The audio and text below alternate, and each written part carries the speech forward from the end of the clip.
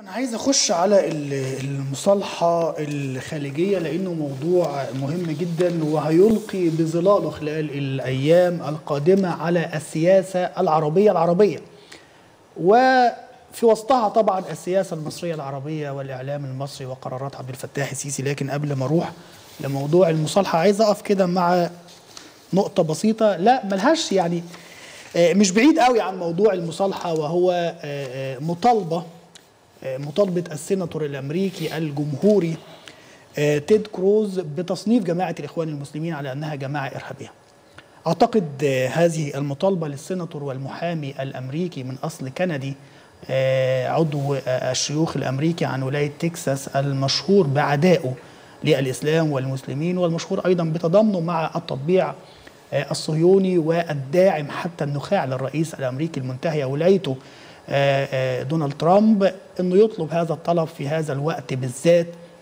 واصفا جماعة الإخوان المسلمين أنها جماعة إرهابية. في الوقت اللي العالم كله آه، بيعامل نظام عبد الفتاح السيسي أو بعض القضايا بيتم تحريكها في بعض الدول ضد نظام عبد الفتاح السيسي بتهم إرهاب زي مثلا القضية اللي تم تحريكها قبل أيام في إيطاليا.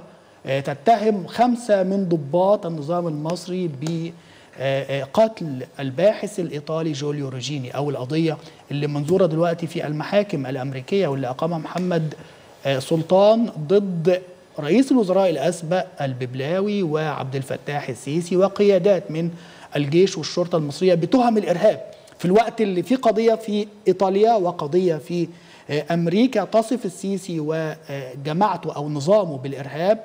أيضا المملكة المتحدة رفضت تصنيف جماعة الإخوان المسلمين على أنها جماعة إرهابية. نلاقي واحد جمهوري قبل نهاية حكم الجمهوريين بأقل من 90 يوم أو 50 يوم زي ما قال النهارده الرئيس الأمريكي المنتخب جو بايدن يطالب بإدراك جماعة الإخوان المسلمين تماشيا.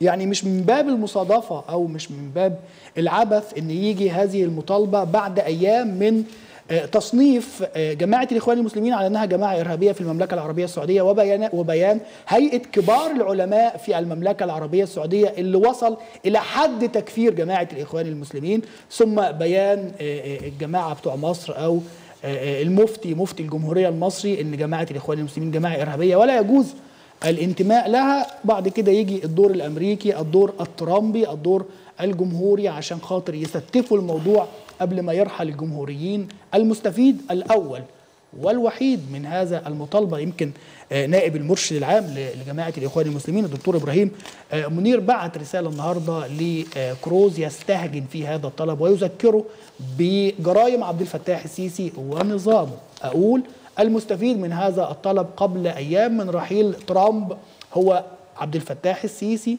النظام الإماراتي ومحمد بن سلمان في المملكة العربية السعودية